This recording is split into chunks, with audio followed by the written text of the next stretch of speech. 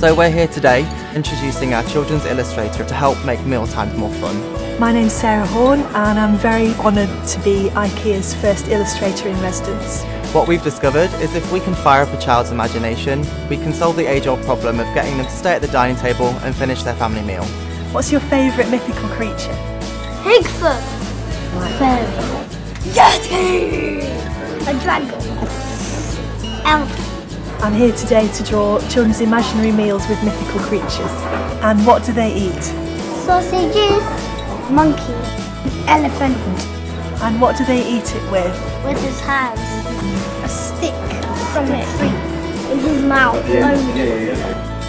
I was I was always drawing, always um, always a drawer. Um, drawing at the dinner table, drawing on the floor, drawing on the walls, drawing drawing all over the place. And I- imagine having a fairy, a Bigfoot, a dragon, and an elf um, all in the same room together because that's that's what the kids have done today. Illustration is the perfect way to bring the fun back to the dinner table.